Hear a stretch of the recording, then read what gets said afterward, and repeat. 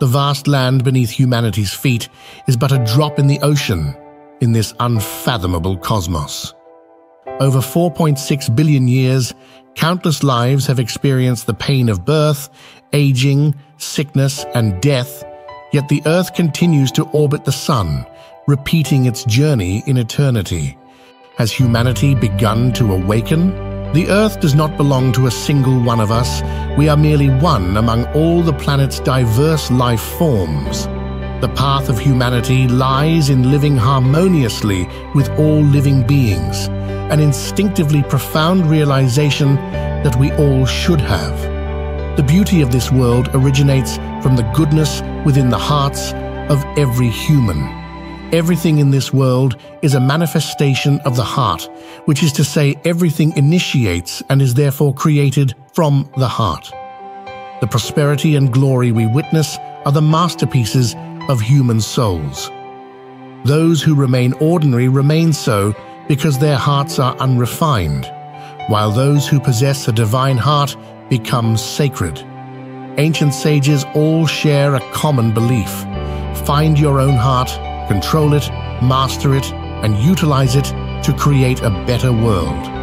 Find your own heart, regain your confidence, return eventually to your heart and be your true master. Let your heart be filled with boundless lifting and benevolent power. Create your beautiful world. Let there be happiness, prosperity, joy, health, and immortality. Humans are microcosms of the entire universe.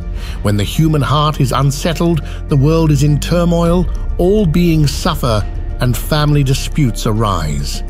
The ripples of such unrest in our hearts will stir trouble within the world, magnifying the fluctuation and causing chaos. Metal, wood, water, fire, and earth are the five elements on earth. Benevolence, righteousness, propriety, wisdom, and faith are the five virtues of life. When greed, anger, ignorance, doubt, and arrogance spread in the heart without restraint, crisis emerges in the world. Driven by greed, insatiable desires lead to the loss of righteousness, resulting in plagues.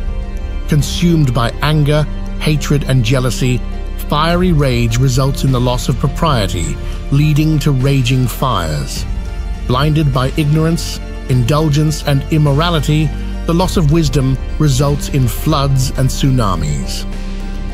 Weighed down by doubt and a lack of trust, indecision leads to landslides and volcanic eruptions. Inflicted by pride and arrogance, self-righteousness leads to violent storms and heavy rain. When greed, anger, ignorance, doubt, and arrogance spread unchecked, it results in cultural conflicts, religious conflicts, and conflicts of interest that will lead to wars. Before we know it, the world is on the brink of a third world war.